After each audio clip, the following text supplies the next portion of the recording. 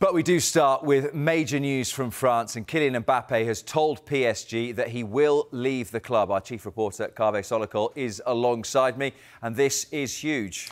Yes, I mean, the background to this is that if you go back to last summer, uh, Kylian Mbappe basically told PSG, I am going to leave in the summer of 2024 on a free transfer. Now, PSG were expecting him to extend his contract by another year, but he said, No, I'm not going to do that. And what PSG said last summer was, we're not going to let you go for nothing. Right, you're never going to play for us again.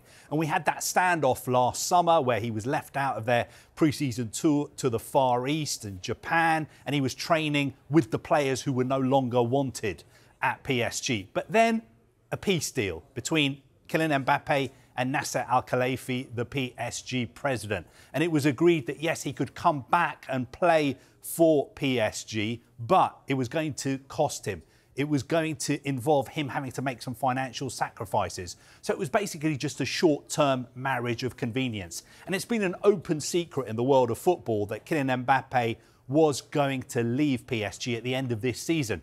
But we've had the situation where it seems Lots of people on social media every day, it seems, have been saying breaking news exclusive uh, Kylian Mbappe is going to leave PSG. Those reports have been checked out with PSG, and PSG have always said, no, that is not the case. We have not been told officially that he's going to leave. Now, the significant thing that happened today, the development is that he has told PSG, I'm leaving at the end of this season. Now, I think the reaction from PSG has been, of course, on the one hand, we saw this coming. We knew this was going to happen. We've prepared for this. Also, he costs PSG something like 200 million euros a year.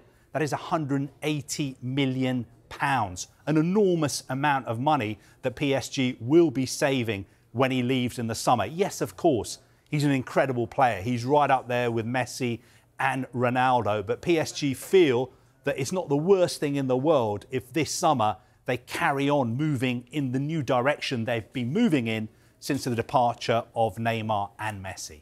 An incredibly long, drawn out saga. We've been discussing his future so many times in recent years. Given what you just said about how PSG see it, is there any way he'll still be wearing that same shirt next season? Uh, I think it is very, very unlikely. I would go as far as saying it is impossible. He's told them I'm leaving. PSG have known that since January he's been allowed to speak to other clubs who are interested in signing him. PSG know that he's been speaking to Real Madrid. They know that. And also, they know that if he goes to Real Madrid, he's going to have to take a massive pay cut. Real Madrid are willing to make him the best paid player in their history, but there is no way that a Spanish club can afford to pay Kylian Mbappe the kind of money that he was on uh, at PSG. And if I can just break it down for you, his wages at PSG are something like a million pounds a week. I think he's on 60 million pounds a year. On top of that, when he signed a new contract, he got a signing on bonus of something like 120 million pounds. Also, every summer he gets a loyalty bonus. The loyalty bonus starts at 60 uh, million pounds and it goes up to something like 80 million pounds. So the whole package you're talking about is mind boggling, the numbers involved. And that is what he's been discussing with Real Madrid because Real Madrid are going to have to pay him a signing on fee. They're going to have to pay him massive wages. And also, he has to negotiate with PSG to sacrifice some of the loyalty bonuses that he's due. Because I think that was a crucial part of the peace deal, the gentleman's agreement that he came to with Nasser Al Khelaifi last summer, which allowed him to carry on playing for PSG this summer part of that was that he would sacrifice some of the loyalty bonuses that he's due. And that all needs to be sorted out before he leaves in the summer. He has felt very much like the jewel in Nasser Al Khelaifi's crown.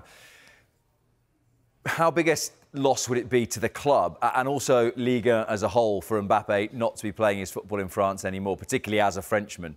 Well, first of all, I think uh, massive loss for French football. Uh, he is a lot of people would say the best player in the world. Exceptional talent. Uh, he represents France. He's the captain of France. We've seen the way he performs at World Cups and Euros as well.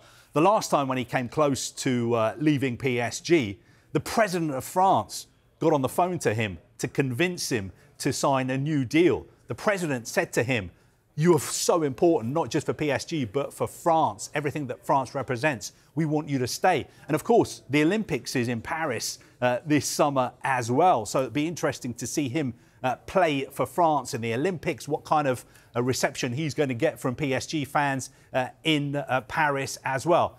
As far what as about PS- the Olympics as well, by the way, is that he would get to his new club late given yes, so he'd, he'd have to he'd, he'd, have to take part in the Olympics. As far as PSG are concerned, so a massive loss for France. PSG, yes, of course, of course, you know he is Mr. PSG. He's the poster boy, the one that is left after Neymar and Messi have gone. But as I said, PSG have prepared for this. They've known for a long time that he's leaving. And last summer, Nasser Al Khelaifi decided that PSG were going to have a new strategy. It was the end of the Galactico era. And he said that to the players and he's made that clear to the media as well. Yes, Neymar was brilliant. Yes, Messi was brilliant. Yes, Mbappe's been brilliant as well. But we need to move on. We need to move in a younger uh, direction and have younger, hungrier, and predominantly French players in our squad.